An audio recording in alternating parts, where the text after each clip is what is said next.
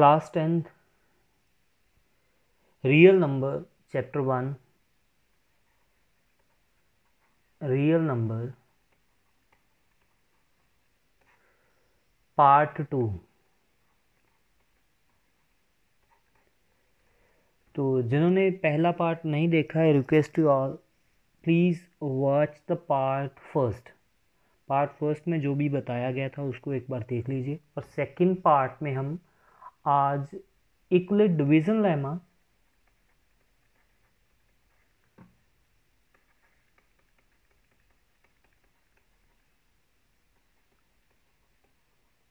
Euclid division lemma and division algorithm. Division algorithm. ये करेंगे हम। डिवीज़न लेमा तो आपको कल भी बताया गया था, डिवीज़न लेमा के लिए यही होता है कि जो डिवाइज़र है, रिमाइंडर उससे छोटा होना चाहिए। इतना सा ही ये लेमा है। और इसके बिहाफ पे आपका क्वेश्चन है N C R T text book का। वो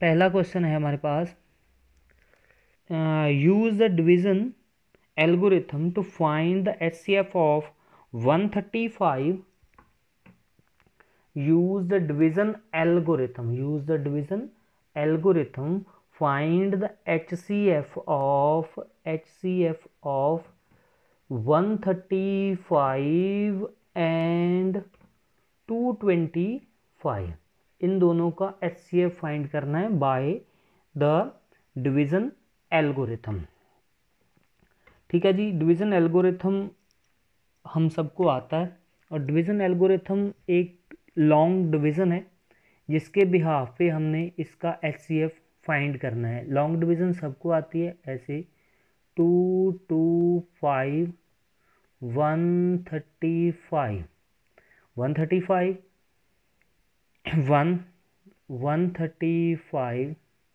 zero और ये आ गया हमारे पास नाइन्टी और इसको लिखना हमने कैसे है? लिखना है, two two five is equal to one thirty five multiply one. One thirty five multiply one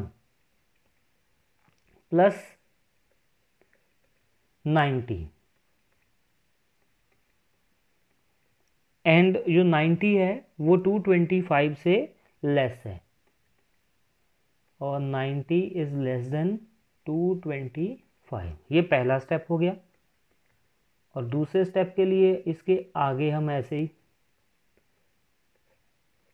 135 one ninety five four forty five. तो ये हमारे पास आ गया।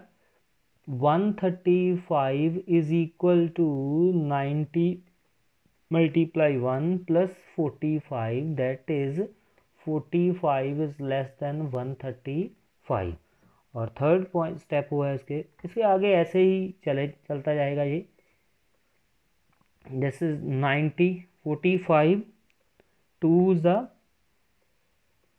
90 और ये बन गया हमारे पास 90 is equal to 45 multiply two plus zero और ज़ीरो जो है वो नाइन्टी से छोटा है। जब ये रिमाइंडर ज़ीरो हो जाता है तो एच सी एफ़ फाइंड हो जाता है। तो H C F is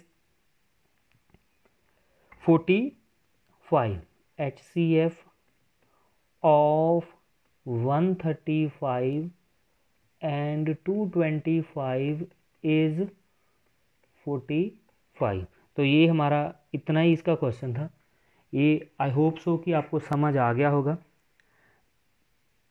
इसके दो पार्ट और हैं N C R T text book में, और उनको आपने सॉल्व करना है। आगे आते हैं नेक्स्ट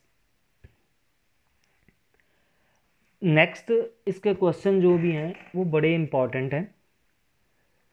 तो ये डिविजिबिलिटी टेस्ट है कि is this divisible for this और नॉट तो ये डिविजिबिलिटी टेस्ट है, ये हमारे तो हमने ये बताना है कि ये ये, यो भी, जो भी इंटीजर हमें दिया गया है, वो इसके साथ डिविजिबल है या नहीं है?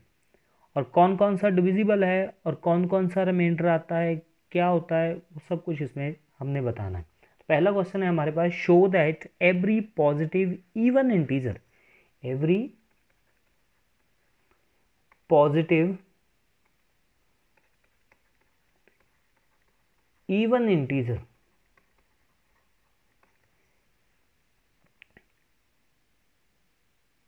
of the form of the form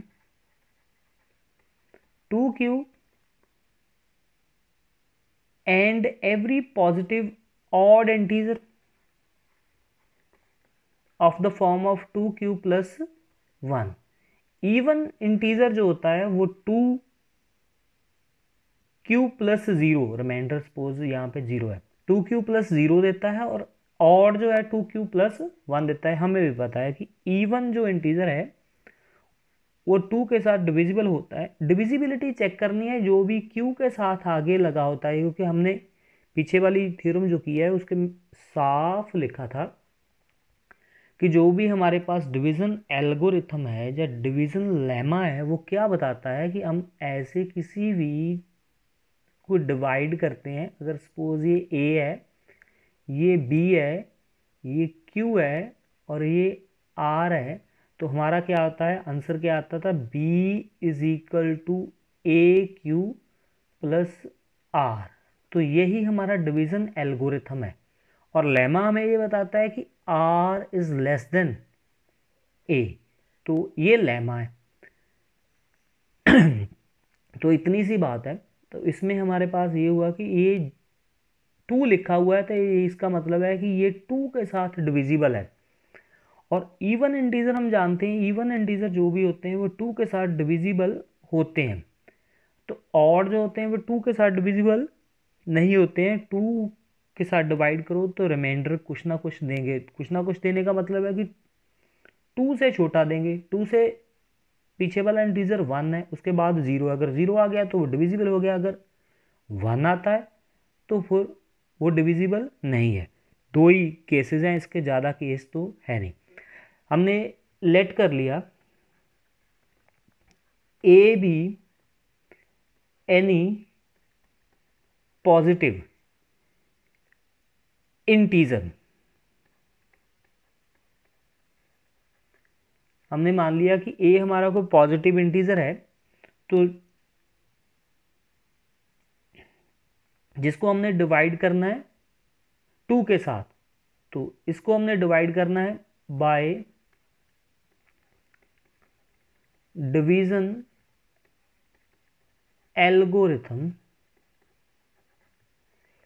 तो a is equal to two multiply q plus r तो ये हमारे पास एल्गोरिथम है, जो b is equal to a q plus r तो हमने बी की प्लेस पे ए कर दिया नो प्रॉब्लम ये ए है, ये बी है, हमने चेंज किए वो हमारे पास कोई भी नॉन वैल्यूज़ हो सकती हैं, हम ए बी को चेंज कर सकते हैं। आप चाहो तो बी भी लिख सकते हो यहाँ पे नो प्रॉब्लम तो ये हमारे पास एल्गोरिथम आ गया।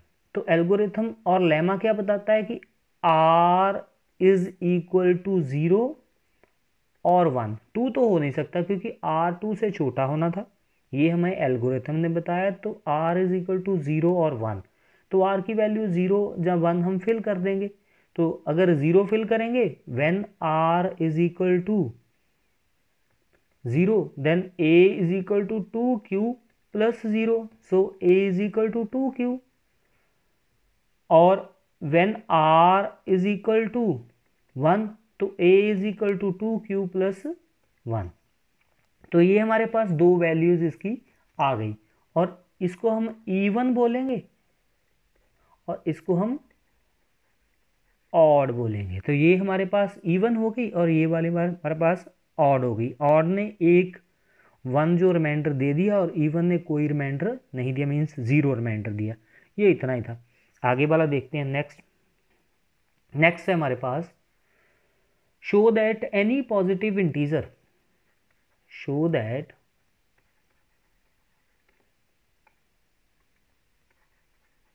any positive integer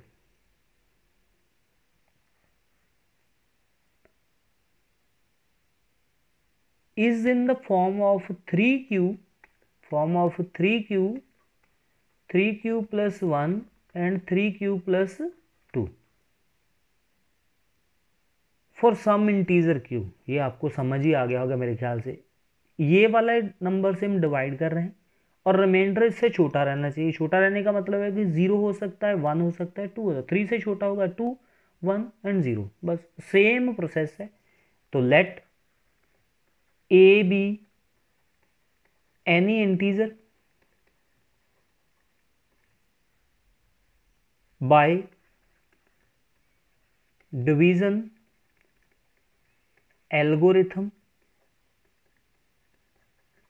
Division, algorithm ने हमने बताया कि a is equal to three q plus r तो ए की वैल्यू आएगी, अगर हम ऐसे डिवाइड करते हैं ए को थ्री से तो यहाँ पे कोई क्वेश्चन आएगा और यहाँ पे कोई रिमाइंडर आएगा। और इसको हमने इससे मल्टीप्लाई करनी है और इसमें ऐड करना है, यही हमारा एल्गोरिथम होता है a is equal to three q plus r तो ये हमारी नंबर वन इक्वेशन बन गई।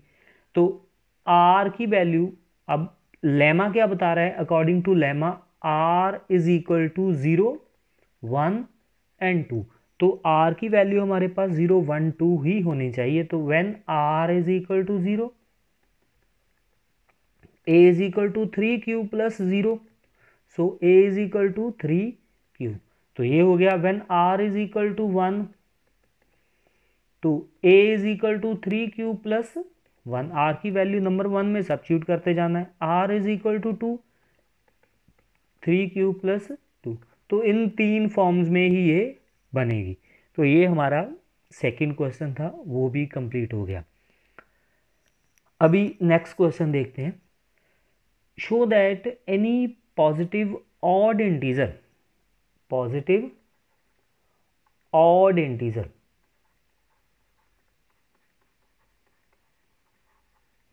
अब इंटीजर पॉजिटिव है और ऑड है। ऑड का मतलब है कि जो टू के टेबल में नहीं डिवाइड होगा। नहीं डिवाइड होने का डिसाइड करता है सिर्फ़ उसका रिमाइंडर। रिमाइंडर ने ये बात डिसाइड करनी है कि रिमाइंडर ईवन आता है या ऑड आता है। रिमाइंडर हमने ईवन वाला रिजेक्ट करना है ऑड वाला रखना है। इसकी, इस बात की यही इसने यही बताया ऑड इंटीजर ने। Is in the form of four q plus one four q plus three तो ये इस फॉर्म में आएगा। तो ये भी हमारे पास क्लियर हो गया कि हमने ऐसे एक ए इंटीजर लेना a b let a b any integer कोई भी इंटीजर है इवन ऑड का कोई चक्कर नहीं है। कोई भी इंटीजर है ए को हमने फोर से डिवाइड करना है। फोर से डिवाइड करने को क्वेश्चन आएगा। क्वेश्चन के बाद कुछ रिमाइंडर आएगा। अगर रिमाइंडर ज़ीरो आ गया तो ये फोर से डिवाइड हो गया। फोर से डिवाइड होने का मतलब वन है। अगर ये रिमाइंडर वन आ गया तो इसका मतलब रिमाइंडर ज़ीरो आ गया। सॉरी वन आया वन ऑड होता है। हम सबको पता है कि तो इसका मतलब कि ये एक ऑड नंबर होगा। टू आ जाएगा तो इवन हो जाएगा थ्री आ जाएगा तो ऑड हो जाएगा। फोर आने की पॉसिबिलिटी है नहीं है, क्योंकि फोर आएगा तो ये इससे छोटा होना चाहिए था। ये हमें डिवीज़न लेमा ने बताया। According to division algorithm division algorithm हमें बता रहा है कि a is equal to four q plus r when r is equal to zero one two three तो यही पॉसिबिलिटी है आर के आने की। ये हमने, हमें डिवीज़न लेमा ने बताया कि ज़ीरो वन टू थ्री इसकी पॉसिबिलिटी है। अब ज़ीरो लिखेंगे। A is equal to four q plus zero तो ज़ीरो आ गया तो ये ईवन हो गया ईवन को हमने रिजेक्ट करना है ईवन हमें चाहिए नहीं क्योंकि हमने ऑड इंटीजर देना था। तो नेक्स्ट वाला आएगा a is equal to four q plus one तो ये वाली ऑड हो गया तो ये वाला ठीक है बात। A is equal to four q plus two ये भी इवन हो गया रिमाइंडर ने हमें बता दिया तो इवन है, इसको नहीं हमने लेना। है a is equal to four q plus three तो ये भी ऑड हुआ तो इसका मतलब ये भी सही है। ये दोनों ही हमारे सही हो। गए तो ये इस फॉर्म में आ गया। Four q plus one and four q plus three तो ये इस फॉर्म में आया तो ये हमारा ठीक हो गया। तो इसी को ही हमने देखना है, ये वाली चीज़ें। ये ऑड हुआ और ये वाला इवन है, ये वाली ऑड है तो ये वाली ऑड है। This is the third question अब आगे फोर्थ की तरफ़ चलते हैं। Show that the square of any positive integer show that the square of any positive integer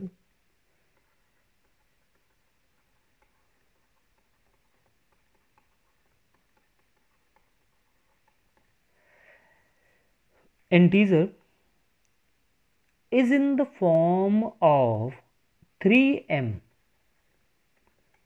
3m plus one अब q की जगह पे m आ गया। कोई प्रॉब्लम नहीं हमें q क्वेश्चन होता है एम भी हमारे पास क्वेश्चन ही है। For any integer m m कोई भी इंटीजर है one two three four value ऐसी कोई वैल्यू आएगी एम की, हमें इस बात से कोई इतराज़ नहीं है। तो हमारे पास क्या है? थ्री के साथ हमने, हमारे पास ये वाली चीज़ हम बाद में देखेंगे, ये वाली चीज़ जो है ना square of any positive integer ये बाद में स्केयर वाला काम बाद में देखेंगे, पहले ये वाली चीज़ देखनी है कि थ्री एम है। थ्री एम है, इसका मतलब कि डिविजिबिलिटी थ्री से है और एम हमारे पास क्वेश्चन की तरह फॉर्म करता है। और क्वेश्चन को हम क्वेश्चन ही लेंगे। लेट कर लिया।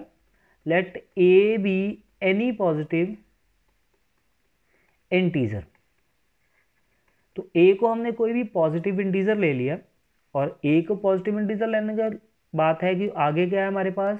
By division algorithm by division algorithm वो क्या बताता है? A is equal to three q plus r three q plus r है where r is equal to zero one two r की वैल्यू ज़ीरो वन टू हो सकती है। और इसके बाद हमने इसको देखना है कि पहले हम इसकी वैल्यू ज़ीरो फिल कर देते हैं। A is equal to three q plus zero number one हो गई।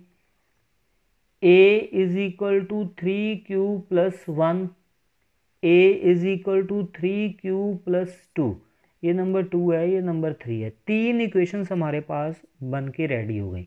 और तीनों इक्वेशन में हमने क्या देखना है कि हमारा अकॉर्डिंग टू क्वेश्चन अब क्वेश्चन क्या कहता है? अकॉर्डिंग टू क्वेश्चन क्वेश्चन हमें बता रहा है कि ये वाली जो तीनों वैल्यूज़ हैं, इनका स्केयर करना है। वो क्या कर रहा है? Squaring both sides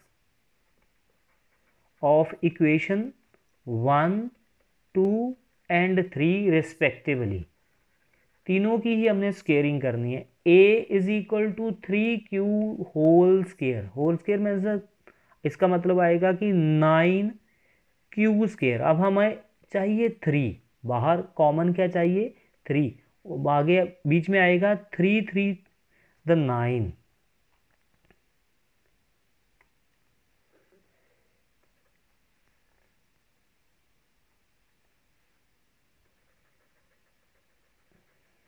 ये रेजर भी हमारे पास है। काम सारे पूरे रखे हैं हमने। बड़ी भी होती है। चलो थ्री थ्री द नाइन यहाँ बीच में आएगा थ्री और क्यू स्केयर और ये बन गया थ्री और थ्री क्यू स्केयर को हम लिखेंगे एम और where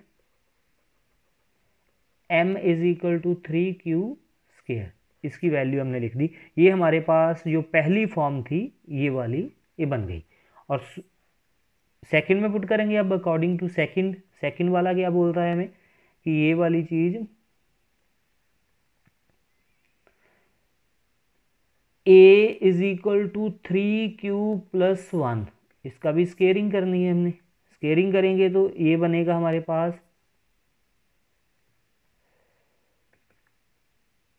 nine q square plus one plus two a b three two the six q अब हमने इन दोनों में से तो थ्री कॉमन निकाल लेना है। इनमें से थ्री कॉमन निकलेगा क्योंकि हमारे पास थ्री का ही फंडा है। थ्री ही कॉमन निकालना है।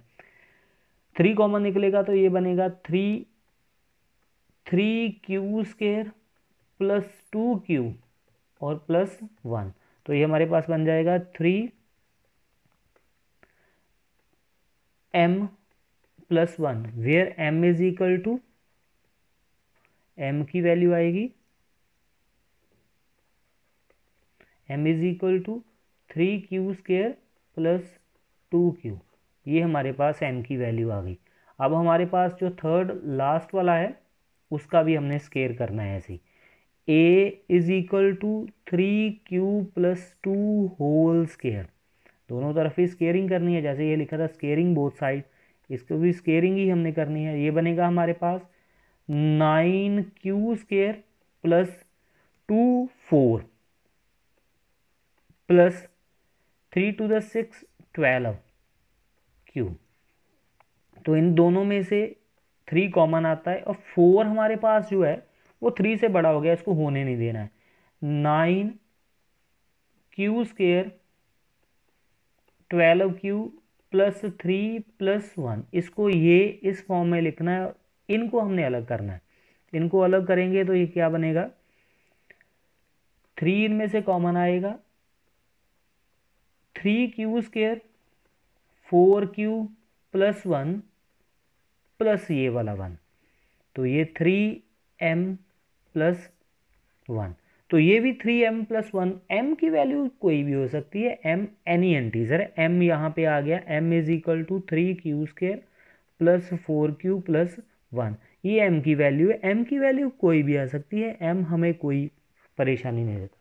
तो ये हमने देखा है कि इसको हम अगर डिवाइड करते हैं स्केयर के साथ, कोई भी स्केयर इंटीजर है तो उसको थ्री के साथ डिवाइड करेंगे तो हमेशा रिमाइंडर रिमाइंडर वन छोड़ेगा।